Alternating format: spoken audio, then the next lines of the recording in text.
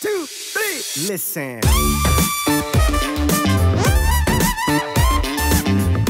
Herzlich willkommen allen zusammen hier zum Science Slam in Esslingen am Neckar. Und jetzt will ich die baden-württembergische Ekstase. Wie klingt das? Das Platin ist ein Krebsmedikament.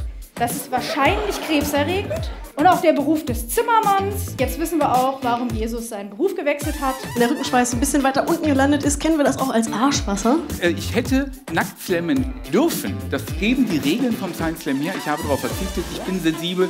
Ich nehme Rücksicht.